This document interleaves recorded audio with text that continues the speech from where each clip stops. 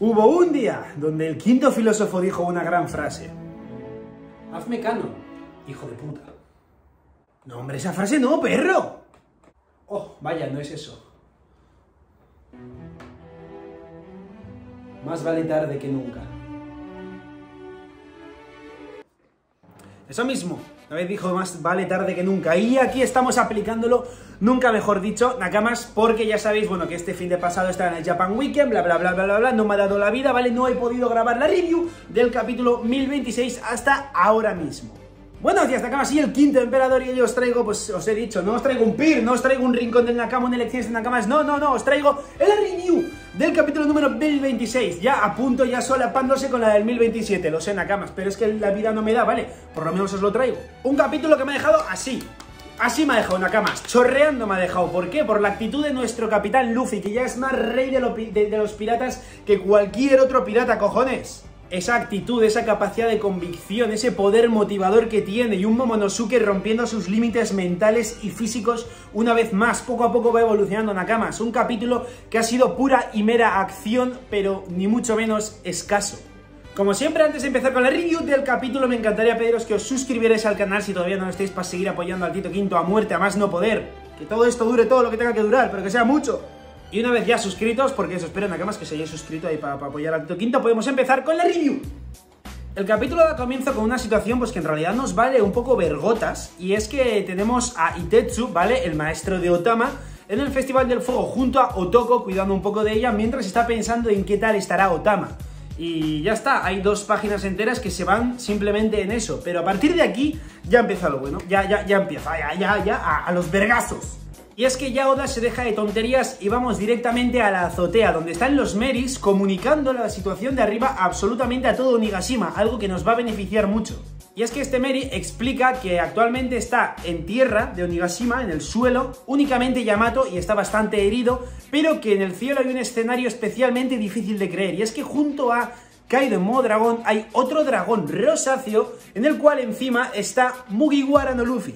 Vemos como tanto Queen como King no terminan de entender quién puede ser ese dragón rosáceo, desconocen su identidad, más adelante se descubrirá que efectivamente es Momonosuke.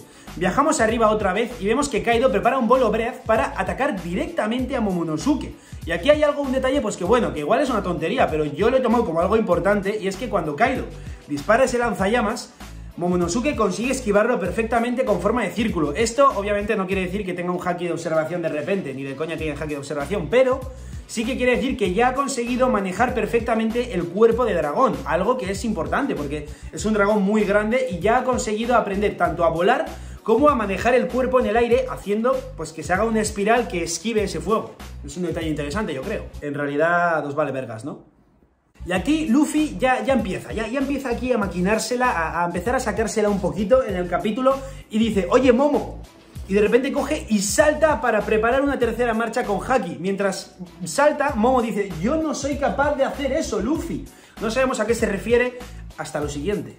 Y es que Luffy, bueno, pues le mete un Elefanto Gun a Kaido, que bueno, Kaido es como la absoluta contraparte de Katakuri, ¿vale? O sea, Katakuri con su haki de observación las ve venir todas y esquiva. Pues bueno, Kaido parece que, le gusta que le peguen, en plan, oh, mira, ahí viene Luffy con un Elephant Gun, a ver, a ver, a ver, a ver, ¡pum! Y, la cobra, y la cobra, pero es que le da igual. Total que efectivamente recibe ese, ese golpe como los de prácticamente los, de los primeros de Wano, cuando le hace un ataque muy parecido. Y vemos que aquí Momo eh, pues revela lo que Luffy le ha dicho hace unos segundos, y es muerde a Kaido.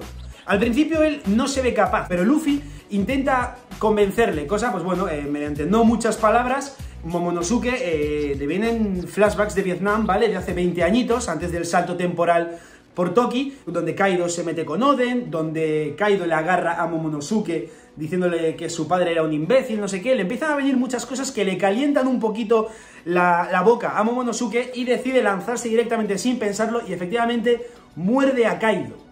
Vemos una viñeta que ya es un clásico de Kaido y es que recibe un ataque y parece que le hace daño. Aquí podéis ver pues, que, que, de verdad parece que le está haciendo daño a Kaido, pero bueno, en la siguiente viñeta de repente Kaido vuelve a su ser y dice, ¿qué te crees que haces, mocoso? Momonosuke ya se queda como... Bueno, pues nada, pues fue bonito mientras duró. Vemos que aquí Luffy de repente aparece y ¡pum! Y le pega otro puñetazo, esta vez sin segunda marcha, sin tercera marcha y sin cuarta marcha, pero sí vemos que con Haki del Rey avanzado, esa, esa nueva capacidad que ha desarrollado Luffy de poder golpear sin llegar a tocar del todo, vemos que en esta viñeta lo hace, uno, porque le hace daño a Kaido, y dos, porque el dibujo, el estilo de dibujo que adopta Oda cuando Luffy hace esto, o cuando alguien hace eso, es con este estilo de dibujo, como con rayitas, ¿vale? En plan, como dando a entender que no ha llegado a haber contacto del todo. Luffy le pega con Haki del Rey a Kaido, mientras dice, muy bien, Momo.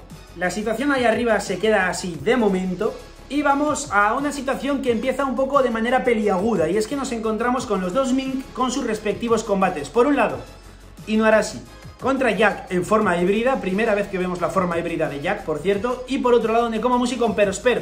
Ambos Mink a punto de haber dado el golpe de gracia a los respectivos personajes, a Perospero y a Jack. Pero ¿qué pasa? Pues que tanto dragoncito, tanto dragoncito han acabado nublando el cielo de tal punto que se ha escondido esa luna que tanto potencia el Sulong de estos dos Mink, de tal manera que han vuelto a su forma normal y por ende han perdido todo ese power-up momentáneo y energías que les proporcionaba el Sulong. Con lo que se podría decir que literalmente se han quedado a un golpe, lo destacan tanto Perospero como Jack, de haberlos derrotado. Es decir, con un golpe más ya se los cargaban, porque estos dos Mink en modo Sulong son unos putos terroristas. Y tras esto volvemos arriba otra vez, con una razón muy importante, y es que vemos que Luffy le grita a Momonosuke que le acaba de morder a un Yonko. ¿Qué más puede temer en esta vida? O sea, no puede temer a nada más. Le acabas de morder a puto Kaido. Momo, coño, espabila. Y vemos a Momonosuke con, una cara de, hostia, es verdad, acabo de morder a un puto Yonko. Esto todo parece una tontería, pero os dais cuenta de que mientras Luffy está pegando a Kaido, está contando con Momonosuke para apoyarle, para apoyarse. En él. Quiero decir, realmente lo suyo sería que Luffy se pusiera a enfrentar a Kaido y apartarse a Momo. Es lo típico que pasa en cualquier anime, ¿no? En plan, no intervengas, solo molestarías. Bueno, pues aquí Luffy está haciendo lo contrario, está diciendo, ven, ven, moléstame, pero yo te voy a enseñar a dar hostias, ¿vale? Tú vas a ser el futuro Shogun y tienes que aprender. ¿Has visto? Has mordido a un puto Yonko. Y es que literalmente está siendo así, o sea, está intentando que Momonosuke en vez de un estorbo sea de ayuda, y para eso Luffy le está enseñando, le está quitándole el miedo que tenía desde el principio a Kaido. Y mientras tanto Yamato está así. Todo esto que estamos escuchando también lo está escuchando el Meri que está en el piso de arriba, con lo que eso quiere decir que todo Onigashima está escuchando la conversación de Luffy y Momo.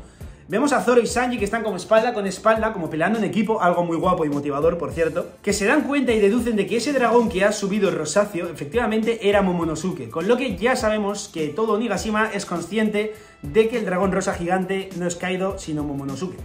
Y vemos que Luffy le grita a Momo que él se encargará de derrotar a Kaido, algo que también reproduce el Meri en todo Nigashima y vemos que de nuevo hay un chute de adrenalina, un chute de energía y de motivación para los samuráis de los pisos de abajo que gritan Luffy y también gritan Momonosuke, o sea, vamos, se, se vienen todos arriba por las palabras que acaba de decir Luffy, nuestro querido Joy Boy de la era actual, ese chico que da energía y transmite energía y positivismo a todo el mundo vemos que hay reacciones a ese comentario de Luffy. Por un lado, Big Mom se está descojonando en plan, se cree que va a derrotar a Kaido. Y luego vemos también a Kid y a Lu y a Low, perdón, ambos, pues bueno, reaccionando, reaccionando ya pues sin sorprenderse, ¿no? Diciendo, bueno, pues nada, lo ha vuelto a decir una vez más y es que acabará haciéndolo. Vemos que Kaido se cambia de forma dragón a forma híbrida, recordemos que esta es la forma más poderosa de un usuario Zoan, ¿vale? O sea, Kaido se vuelve a poner serio, va a, a muerte a por Luffy y le dice, ¿acaso crees que todavía tienes oportunidades de derrotarme? A lo que Luffy le dice, mientras siga vivo, las posibilidades son infinitas.